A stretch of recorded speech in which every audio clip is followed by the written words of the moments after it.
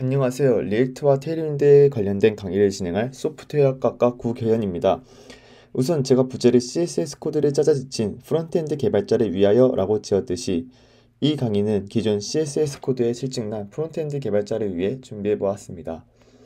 저도 옛날에는 CSS 파일로 디자인을 구성하였지만 Tailwind를 알게 된 이후에는 그 편리함 때문에 개인 프로젝트에서는 거의 무조건 Tailwind를 쓰게 되었습니다. 그래, 그래서 여러분들에게 소개라도 하고자 Tailwind를 메인 주제로 잡아서 강의를 진행하게 되었습니다. 강의를 시작하기 전에 먼저 HTML, CSS, JavaScript, React에 대한 지식이 선행되어야 합니다. 시간 관계상 React에 적용되는 Tailwind를 중점적으로 설명할 것이기에 만약 해당 선행 지식이 없으시다면 이 강의를 들으셔도 크게 도움되지 않습니다. 추가로 React로 개발을 진행해 보신 분들과 CSS를 잘 아시는 분들이시라면 이 강의가 좀 더 유익하지 않을까 싶습니다. 목차는 Tailwind의 소개, React와 조합하기, Tailwind의 사용 방법, 간단한 component 만들어 보기 순으로 진행됩니다. 먼저 Tailwind 소개입니다. Tailwind 공식 페이지에 있는 소개글을 가져와 분석해 보았습니다. 위 PPT를 보면 Tailwind는 자신들이 제공하는 class name을 이용해서 디자인을 적용하며 어떤 디자인이든 구성 가능하게 하는 CSS framework다라고 요약해 볼 수 있겠습니다. class name을 이용해 디자인을 적용하면 기존 CSS plus JS 방식에서 only JS 방식으로 디자인을 표현할 수 있습니다. CSS 코드들은 Tailwind가 관리해주고 우리는 Tailwind가 관리하는 코드를 class name을 이용해서 적용하면 되기 때문에 별도의 CSS 파일 없이 디자인을 구성할 수 있습니다. Tailwind와 비슷하게 class name으로 디자인을 적용시켜주는 Bootstrap과 비교해 보았을 때 Bootstrap은 여러 CSS 코드를 조합하여 하나의 class name으로 버튼 하나 또는 component 하나를 완성시킬 수 있도록 제작되어진 반면 Tailwind는 거의 하나 내지 두 개의 CSS 코드를 조합하여 여러 class name을 써야 component 하나를 완성시킬 수 있도록 제작되었습니다.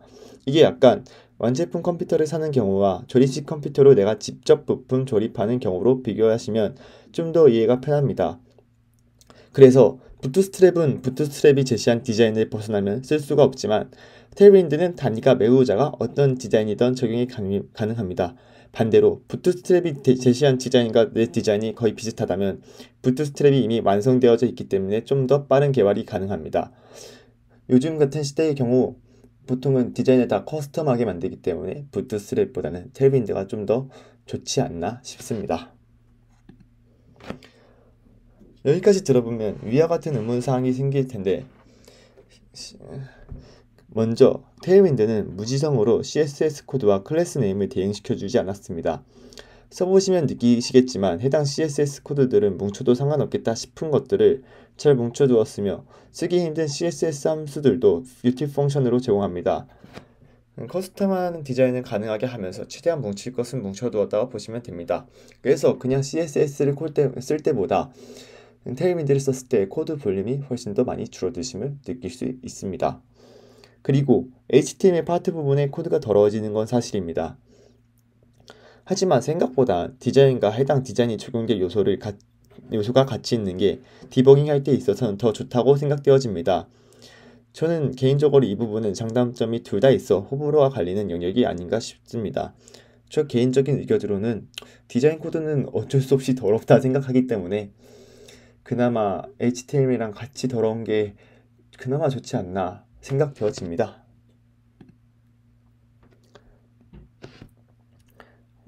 우선 누가 쓰면 좋은지에 대해서 설명해 드리겠습니다. Tailwind는 class name 앞에 단어 하나를 써주면 반응형으로 적용되기 때문에 반응형 웹 개발 시 매우 편리합니다. Tailwind를 불호하는 제 친구조차 반응형은 인정하실 정도로 반응형 웹 하실 때에는 Tailwind가 좋습니다. 또 나중에 설명하겠지만 Tailwind는 제가 직접 class name을 여러 개 뭉쳐 새로운 class name을 정의할 수도 있고 기존의 Tailwind 설정 값을 제가 직접 다시 설정할 수 있기 때문에 디자인 시스템이 이미 있는 개발 프로세스에서 Tailwind가 강점을 보입니다. 마지막으로 그냥 CSS 코드가 싫은 개발자들은 그나마 JS 파일 내의 class name으로 다루는 게 더 괜찮지 않나 싶습니다. Tailwind는 사실 React와 독립적으로 적용할 수 있으나 React가 frontend 개발계에 Java Spring 같은 무조건 필수적인 존재가 되어가고 있기도 하고 Tailwind 특성상 페이지 단위 개발보다는 component 단위 개발이 더 적합하기 때문에 React와 곁들여서 설명하기로 하였습니다. 또 대시 앱이라는 React 프로젝트 설정 프로그램을 사용하면 좀 더 쉽게 초기 설정을 진행할 수 있습니다. 밑 URL에서 어찌하면 세팅할 수 있는지 자세히 알 수 있습니다. 해당 홈페이지의 가이드를 따라 다음 영상으로 세팅 과정을 진행해 보도록 하겠습니다. npx 명령어로 Create React App 프로그램을 실행해 React 프로젝트를 만들어 줍니다.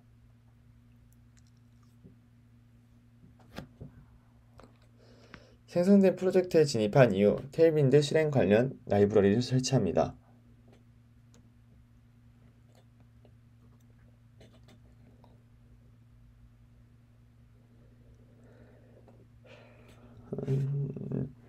테일윈드 init -p 실행 후 tailwind.config.js와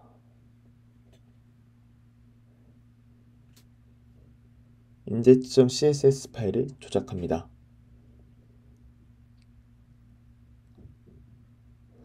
마지막으로 잘 동작하는지 확인하기 위해 app.js를 조작해 보도록 합시다. 간단하게 헤더를 한번 만들어 보겠습니다. 배경은 블랙, 글자 색깔은 흰색, 텍스트 사이즈는 조금 크게 적용해 본 모습입니다. 예, 잘 적용되었음을 확인할 수 있습니다. 이런 식으로 프로젝트 초기 단계 때 Tailwind 파일을 Tailwind를 세팅해 줄 수 있습니다. 참고로 VS Code를 쓰신다면 꼭 테일윈드 CSS 인텔리센스 익스텐션을 설치하시기 바랍니다. 해당 extension의 경우 문자열 안에 있는 Tailwind class name을 인식하여 자동 완성시켜주는 기능을 제공합니다. 또한 특정 Tailwind class name 위에 마우스를 올렸을 때 해당 class name과 어떤 CSS 코드가 매칭되는지도 알려주기 때문에 개발 시에 매우 유용합니다. 물론 나중에 되면은 그냥 class name을 외워버려 가지고 굳이 쓸 필요가 없을 것 같기도 하지만 일단 처음인 사람들에게 있어서는 정말 매우 필요한 라이브러리이기 때문에 꼭 설치하시기 바랍니다. 다음으로 Tailwind를 사용하는 방법에 대해서 소개할까 합니다. 우선 진행하기에 앞서 시간 관계상 모든 내용을 다루지 못하는 점 양해 부탁드립니다. 진행은 class name의 종류에 대해서 얘기한 후 Tailwind의 스타일 재사용 기법 알아두면 좋은 순으로 이야기를 할 예정입니다. 우선 Tailwind의 class name을 제 마음대로 분류해 보자면 먼저 CSS 코드와 거의 1대1 대응하는 class name이 있습니다. p 대시나 텍스트 대시나 flex 같은 경우에는 CSS 코드 속성과 거의 1대1로 대응하는 class name들입니다. 그리고 CSS 코드 여러 개 또는 CSS 함수랑 대응되는 class name이 있습니다. divide 10, space 10, transform GPU 같은 경우에는 CSS 코드를 표현하기 좀 복잡한 함수들이나 아니면 여러 개의 CSS 코드들이 뭉쳐서 하나의 class name으로 이루어지는 경우입니다. 그리고 마지막으로 음, 특정 class name에 가상 클래스와 반응형을 표현하는 prefix를 붙여둔 경우를 볼 수 있습니다. 예를 p 대시 앞에 sm을 붙여준다면 이는 반응형으로 p를 적용한다는 뜻입니다. text red 앞에 hover를 붙여준다면 이 text red 속성을 마우스가 hover되었을 때 적용하라는 뜻입니다. 이렇듯 Tailwind는 앞에 prefix를 붙여줌으로써 반응형과 그리고 가상 클래스를 효과적으로 표현할 수 있습니다. Tailwind의 스타일 시스템입니다. index CSS에서 클래스를 뭉쳐두면 이후 묶어둔 class name을 사용할 수 있습니다. 위의 경우 텍스트 대시 title로 사용 가능합니다. 이렇듯 Figma 또는 프로토타입 툴로 컴포넌트를 구현한 후 이를 하나의 class name으로 묶어서 표현해 둘 수 있습니다. 또 tailwind.config.js에서 Tailwind의 기본 설정 값도 바꿀 수 있습니다. 위 예제의 경우 기존에 진행했던 capstone 디자인 프로젝트에서 제가 Figma로 설정해둔 색깔 값을 그대로 Tailwind 설정에 옮겨둔 경우입니다. 이렇게 되면은 내가 직접 hash 값을 찾는 대신에 light green 또는 deep green 같은 영어로 치환된 단어를 써서 색깔을 표현할 수 있습니다. 마지막으로 알아두면 좋은 점입니다. 절대로 JavaScript로 class name을 구성하지 맙시다. 위 예제의 경우 pd 대시 뒤에 내가 설정한 임의의 값을 JavaScript로 정해 주려고 하는 경우입니다. 하지만 Tailwind 컴파일 엔진은 파일 안에 있는 문자열 내에 있는 Tailwind class name 기준으로 CSS 파일을 build해 주기 때문에 JS로 만들어진 class name 관련 CSS 코드는 build되지 않습니다. 즉, 위 예제의 경우 pt-로만 들어가기 때문에 Tailwind 컴파일 엔진은 에러로 인식하고 이를 굳이 이를 내가 의도하는 대로의 CSS 코드를 build해 주지 않습니다. 그렇기 때문에 꼭 class name은 문자 형태로 완전하게 써 주셔야 합니다. 물론 바, 방법은 있습니다. 이 React 프로젝트를 build한 이후 build한 결과물에 Tailwind 엔진을 적용한다면 이런 식의 표현도 가능하겠지만 그건 매우 번거로운 일이기 때문에 하지 않으시는 게 좋을 것 같습니다. 저도 직접 해본 적은 없어가지고 잘 모르겠지만 아마 되지 않을까. 어떤 연산은 되고 어떤 연산은 안 될 것 같습니다. 이렇게 변수로 표현하는 건 안 되지만 단순히 플러스 아니면 단순히 그냥 문자열 두 개를 더한다 그 정도는 될 것 같은데 이렇듯 저도 확신할 수 없는 기능을 굳이 꼭 써야 되나 그냥 문자열로 표현하시면 됩니다. 그리고 뭔가 설정과 관련된 관련되어 해야 될 것이 있으면 무조건 tailwind.config.js를 참고하면 좋겠습니다. 여기서 위에서 위에서 말했듯이 기본 설정값도 설정해 줄 수 있고 또 공부하시다 보면 plugin plugin이라는 것도 배우게 되는데 plugin도 tailwind.config.js에서 처리할 수 있습니다. 그리고 마지막으로 Tailwind 공식 문서는 내용부터 디자인까지 완벽하니 많이 참고하시면 좋겠습니다. 저도 Tailwind의 경우에는 공식 문서를 한번 쭉 읽고 난 다음에 사용해 보기 시작했습니다. 공식 문서가 그만큼 정리도 잘 돼 있고 뭔가 찾기 위해서 정말 분류도 잘 해놨습니다. 꼭 한 번쯤 읽어보시기 바랍니다. 다음은 간단한 카드뷰를 만들어서 실습해 보도록 하겠습니다. 우선 HTML 코드들은 작성해 주었습니다. 테일윈드로 스타일을 적용하기 위해서는 HTML 태그에 클래스 네임에 클래스명을 적어줘야 됩니다. 우선 기본이 되는 배경 배경 스타일을 정해보도록 하겠습니다. 예, 적용된 거 확인하셨고요. 카드뷰로 넘어가 보겠습니다. 이게 테일윈드를 쓰시는 사람들이 가장 큰 하는 가장 큰 오해 중 하나가 테일윈드를 배우면은 CSS를 쓸 필요가 없다라고 생각하는데 오히려 테일윈드를 잘 쓰기 위해서는 CSS 지식이 매우 튼튼하게 뒷받침되어야 합니다. 이 Tailwind로 쓰는 이 class name들은 거의 대부분 이렇듯 자동 완성 기능에서 보는 CSS 코드를 보시면 아시겠지만 CSS 코드랑 거의 1대1 대응되기도 하고 또한 어찌 보면 CSS보다 좀 더 쓰기 힘든 구석도 있는 이, 있기도 해가지고 CSS 지식을 모른다면은 Tailwind를 배우는 게 아무런 의미가 없습니다. 지금 보시면은 CSS 코딩할 때랑 똑같이 card view에 레이아웃 먼저 잡아주는 모습입니다. 그리고 지금은 이미지 스타일을 적용하는 부분입니다. 이렇듯 이미 CSS로 카드뷰를 만들 수 있는 사람이 Tailwind를 적용해서 card view를 만들 수 있는 거지 이미 CSS로도 카드뷰를 못 만드는데 Tailwind를 써가지고 card view를 만들 수 있다? 이거는 절대 아닌 이야기입니다. 예, 계속해서 card view를 조정하고 있는 중입니다.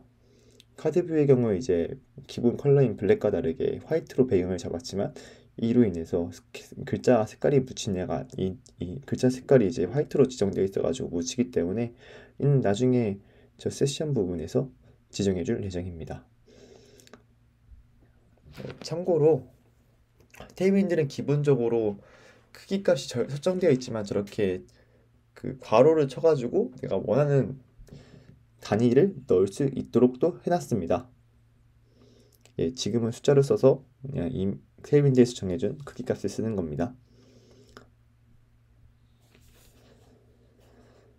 예, 아무튼 테일윈드를 공부하시는 것도 좋지만 나는 CSS를 잘 못 쓰겠다 싶으면 테일윈드보다는 CSS 먼저 공부하시는 걸 추천드립니다. CSS를 완벽하게 익히고 난 이후에 테일윈드를 공부하셔야 더 좋지 않을까. 물론 테일윈드만 공부해도 뭐 뭐 결국에는 뭐 CSS 실력도 같이 올라가긴 합니다. 예, 마지막으로 이제 세션 부분, 이제 글자 부분을 이제 조정하고 있습니다. 예, 이로써 깔끔한 카드뷰를 한번 만들어 봤는데요.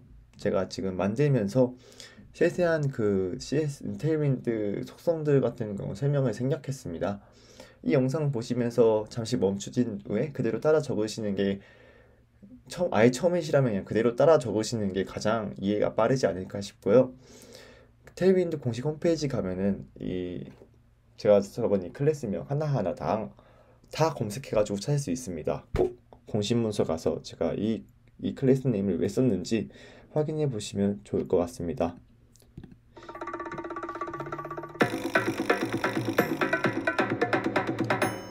이상으로 발표를 마치도록 하겠습니다. 감사합니다.